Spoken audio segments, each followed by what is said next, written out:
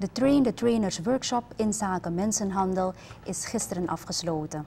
De workshop is georganiseerd door de werkgroep TIP in samenwerking met de United Nations Office on Drugs and Crime en de ambassade van de Verenigde Staten in Suriname.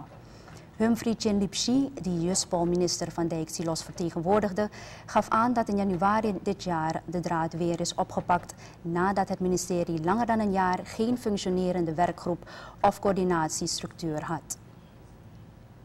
Verschillende inspanningen die we nagelaten hebben, hebben we een downgrade gekregen en is de situatie trafficking en in Suriname gaan verslechteren. Met deze training en de verschillende praktische oefeningen die u allemaal heeft gezien, is het duidelijk geworden dat er nog heel veel werk te doen is. Dat we vanaf de binnenkomst van vreemdelingen, in feite vanaf de aanvraag van visa en verblijfsvergunningen, dat we veel meer kunnen doen om te voorkomen dat mensen slachtoffer worden. Voordat ik deze toespraak hield vandaag, uh, kreeg ik al wat informatie over de training en ik heb uit die informatie echt kunnen halen dat jullie heel enthousiast hebben geparticipeerd en dat jullie echt een wereld open is gegaan van nieuwe mogelijkheden om mensenhandel en mensensmokkel aan te pakken. Ik feliciteer jullie daarmee. Ik dank jullie hartelijk voor al jullie inspanningen.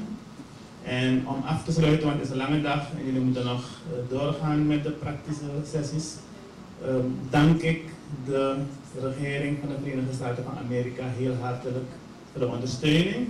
En zoals de Deputy Chief of Mission al zei, dit is pas het begin. We hebben nog een lange weg te gaan. En we zijn vastbesloten om met de regering van de Verenigde Staten van Amerika te blijven samenwerken om mensenhandel en mensensmokkel beter aan te pakken. Chen Lipshi bracht ook dank uit aan de trainers afkomstig uit Nederland, Sint Maarten en Colombia. De afsluiting van de Train the Trainers workshop in zaken mensenhandel is gehouden in Residence Inn.